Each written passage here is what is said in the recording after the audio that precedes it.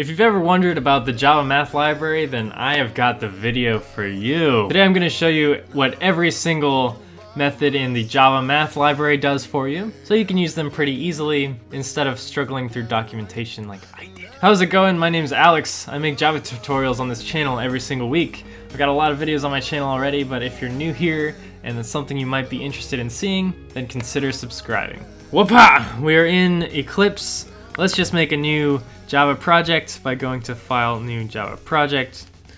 Call it Math. Math is fun. Hit Finish here. Right click it and go to New Class. We'll name this and then we'll start learning what those math library methods are. We'll just name it Math. Is cool.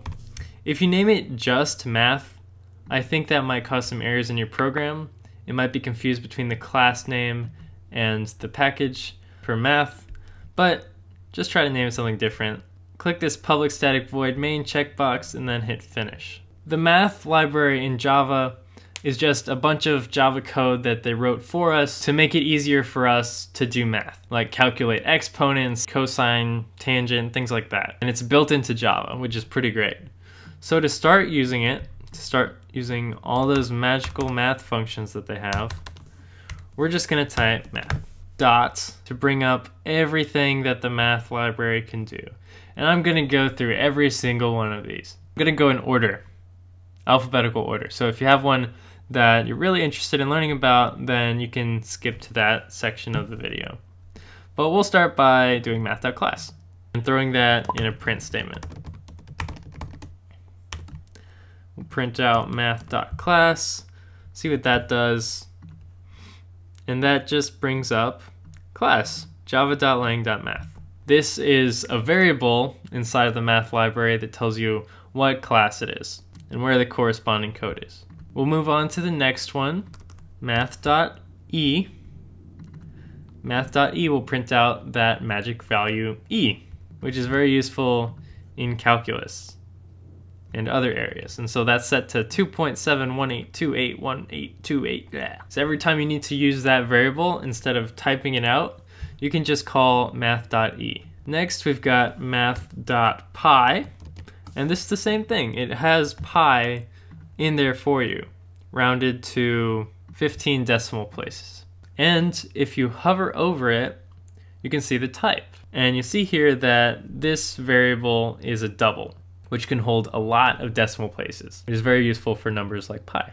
So you can use this for your circle calculations if you need to. Let's move on to the next one. Looks like we're done with all the variables here. Um, how I can tell that is by these little icons. So the tiny ones are uh, values and then the big green circles look like methods. So I'll click abs here and this is the absolute value. So you can do math.abs to calculate the absolute value of something. So say negative 12. If we do that, then we'll see the absolute value is 12. If we do like positive 18, then the absolute value will be 18. This will work with decimals as well, 18.2, 18.2. And that's actually why, if we do math dot again, that's why you see four different absolute value functions here. One for double, one for float, one for int, and one for long. Those all do the same thing. Gives you the absolute value. Trucking on along, we've got a acos. What could that do? Well, that's actually the cosine of a value. So like 0.54, and I'm sorry, not the cosine value, the arc cosine value. And it'll return the angle for you between zero and pi. If you put in a number here that's outside of the range between 0 and 1, so like 1.1, it'll return NaN, not a number. It can actually be, be between negative 1 and 1. So any number between that range will work. So that's a cos, arc cosine. After that, we can move on to add exact. This will add numbers for you and eliminate rounding errors. It works for both the integer values and long values. Moving on to asine, arcsine, any value between negative 1 and 1 will work. Arctangent is the same thing. It will return the arctangent for you. like so. A tan 2 is arctangent squared. This is the angle of an xy point and the positive x-axis. So we can say there's a point in space that's like 6, 3, and we get the angle. It converts those rectangular coordinates xy into polar coordinates r theta for you. After arctangent squared, we've got CBRT. That's the cube root. So if we put a 9 in there, save it and run it, then we get 2.08. Let's see what else has a cube root. I know that 8 does. 8's cube root is 2, and there we get 2. Next, ceil. This is very useful because it will get the ceiling value of whatever you put in. So if I put 2.3, that will return a 3. It will round it up. And that can be very useful. This one is overcomplicated, I think, and it just takes the sign of the second number and puts it on the first number. So if we say like positive 4 and negative 2, then it gets negative 4. It takes the sign of the second number and puts it on the first. So if this was positive and then negative, then we'd get positive 4. That works for both doubles and floats. Cos is the cosine between negative 1 and 1. Like so. You put in your angle in radians, and it'll return the cosine for you. Cosh will return the hyperbolic cosine, and it's defined by this formula right here. So you can get the hyperbolic cosine of your number in radians, like that. This is really great because you don't have to calculate it all in Java. It just does it for you. That's actually extremely convenient. Decrement exact will decrement the value by 1. So if I can do 9, and it will give me 8. That works for both integers and longs. By the way, if you're a little confused on the difference between longs, ints, doubles, and floats, you can see that on the screen now, where I go into in-depth on the difference between all four of those, once and for all so you have no confusion. Exp is the variable e, that magic number e from earlier at 2.718 raised to this power. So if we raise it to the power of 1, then we get the original. If we raise it to the power of 2, then you get the idea. exp m1 returns the value of this formula. So it's e to the x minus 1. So if we have e to the 1 minus 1, we should get like 1.718. Yeah, 1.718, because that's just e to the 1 minus 1. So you can use this to use pretty cool equations very simply through the math library. We've got floor. This is just like ceil the ceiling, except we're gonna round it down to the bottom. So if I have like 6.999, since it's on the floor, we're gonna round it down to six. Floor div is dividing x by y, and then taking that value to the floor. So if we divide 5 by 2, the answer is 2.5, but since we're flooring it, the answer will spit out 2, like that. That works with both ints and longs. Floor mod will do x mod y and return the floor of that. So if I did 5 mod 2, the remainder is 1. The floor is 1 is still 1. So we get 1. Floor mod also works with both ints and longs. Get exponent will return the unbiased exponent of a number. And I honestly don't know what that is, um, but if we put in 64 then we get 6, and I guess that's the unbiased exponent. I'm sorry I wasn't too useful in that. I, I don't really understand that one too well, but that may be an off case um, if you need to use that one. That one works for both doubles and floats. Hypot will get the hypotenuse of an x and y value. 3 and 4 should return a hypotenuse of 5. So if we go 3 on the x, 4 on the y, hypotenuse is 5 is a squared plus b squared equals c squared. 25 equals 16 plus 9. We have i, e, e, e remainder. This is just like mod, except it uses this IEEE standard of calculating remainders. So if I put in like 5.4, 3.1, we'll calculate the remainder using that standard, and that's the remainder. It says the remainder is mathematically equal to the first value minus the second value times n, where n's the mathematical quotient, and that's the formula. Woo, there are more than I expected. it was good for you. Good for the people using Math Library. Increment exact, this is just adding 1, so if we put 8 in there, it'll return 9. That works for integers and longs. We've got log, this takes the logarithm, so if we put math.e inside of here and take the log of e, then we get 1. Dude, my math, like, being able to use calculus again is like, whoa. Moving on, log 10. This is the log base 10. Say like 12. we get the log base 10 results. Log 1p is the natural logarithm of the sum of the argument and 1.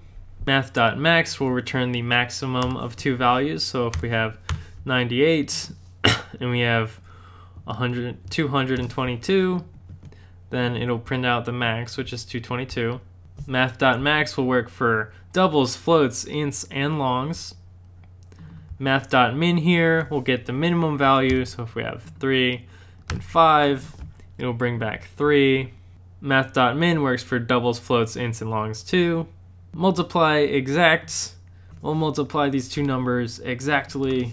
2 and 3 is 6. The difference between regular multiplication using the asterisk, regular subtraction, and regular division, all that. The reason why there's math dot multiply exact is because it'll throw an exception and tell you if the value overflows. That's the only difference there. You know, I think regular ones do that too. I can't remember. Might just be more organized that way. Multiply exact works with integers and longs. Negate exact this will take this value and turn it negative. If you put a negative number in here, then it'll come back positive since two negatives make a positive.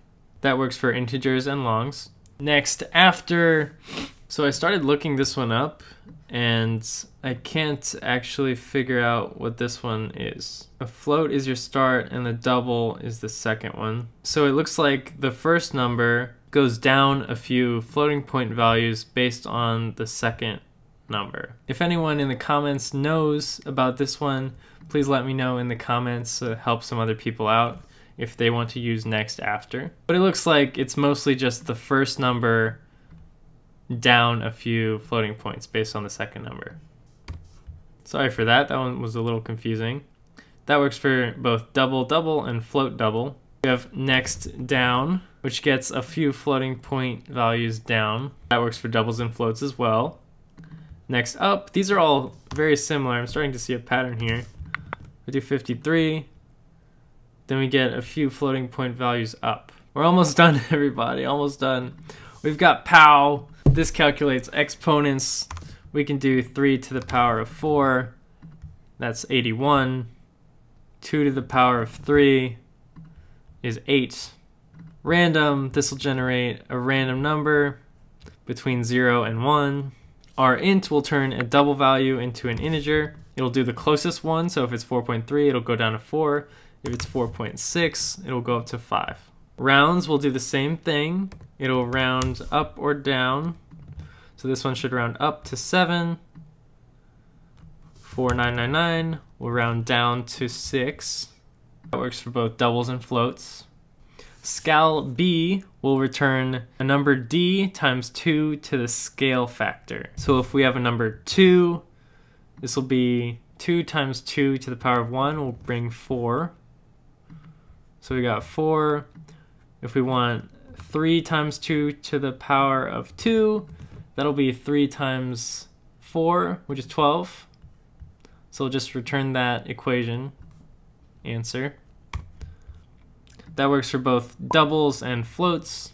Signum will return the significant number, so if it's positive, it'll return 1. If it's negative, it'll return negative 1. And if it's 0, it'll return 0. Sine will return the sine between negative 1 and 1, just like before. We're very used to these ones because there's a lot of these in the math library. Next in the Java math library is sign H, which is the hypotenusal sine. So we can do the same thing and we get the sine hypotenuse. Sorry, hyperbolic sine. I sounded like an idiot. Hyperbolic. Squirt will get you a Squirtle Pokemon for free. Now it's the square root of a number. We've got 9, I'll return 3. Subtract exact, we'll subtract the two numbers. Say, subtract 9 and 2, we'll get 7. That works for integers and longs. Tangent will bring you the tangent, just like the other ones. Tan H will bring you the hyperbolic tangent. 2 degrees, you'll put in your angle in radians and it'll convert that to degrees. So 0.45 in radians is 25.78 degrees. Next, we've got 2 int exact. This will convert it to an integer, um, but it has to be a long in here. Whoa. Long in here. Oh my gosh. A long in here. Uh, yeah, it'll convert along to integer for you. If it's high, it'll just round down. Just a few more left. We've got two radians. You put your angle in degrees here. Say 90 degree angle is equal to 1.57 in radians. Ulp, I believe, will return the difference between a double and a float. So if you put in 6.4444, then it gets the difference. Here, let me try to bring up what it says for you. An ULP unit in the last place of a double value is a positive difference between this floating point value and the double value next larger in magnitude. So if you want to use this formula, then you can do that with the ULP method. And finally, the last in the Java... Oh, that was it. ULP are the last ones in the Java math library. Just gonna put in my favorite one here. I really like the math.random. Super nice, super useful. But that was every uh, method in the Java math library. We went through E, pi, which are the sort of mathematical variables you use all the time. We've got absolute values, they've got trigonometry in here, exponents, floors, hypotenuse, hyperbolic cosine, mins, maxes, scaling values, converting to degrees, converting to radians, and all these wonderful things inside the Java math library. So if you think that this was helpful, please leave a like. I make Java videos just like this all the time, so you can check out a bunch more. I think I have like close to 30, 40, a lot of Java videos just like this one. So you can check them out on my channel if you want to. And I'll see you in the next video. Have a great day. I appreciate you being here. I'll see you later.